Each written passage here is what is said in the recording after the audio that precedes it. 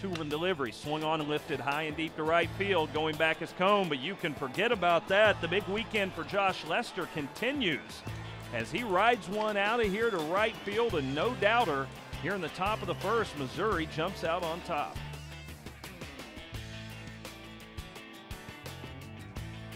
Their left-handed pitcher. Here's the pitch, and it is lifted into shallow right field. Cone coming in, makes the catch on the run. Runner at third tags, throw coming home to Greiner. Tag put down, got it! And that will do it for Missouri in the third. At the plate, very disciplined. 2-1 swung on over the head of the pitcher on the chop and into center field. And Patrick Harrington picks up his sixth base hit of the season. One ball, two strikes. The pitch, and he'll reach out and hit the grounder to that third baseman. Playing closer to shortstop. Martin thrown out, but Harrington scores, and the Gamecocks tie it up at one to one. Greiner hitting 347. Swings and hits a ground ball to Howard at third, who plays it across the diamond and throws it away. Mooney will score. The ball goes over to the wall, and Greiner keeps chugging and makes it into second base.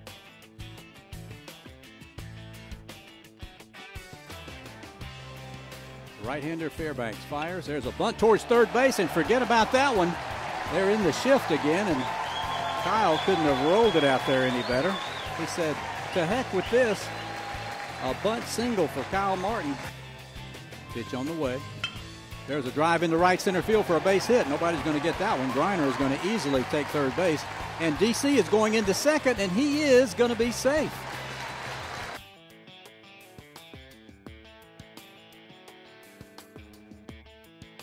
Here's a pitch. High fly ball into deep left center field. Going over is Everett, and he drops the ball in the gap near the warning track. Gene Cone is going to lope into second. Pitch to Schrock. There's a line drive into center field for a base hit. That is clutch. We say it again. Welcome back, Max.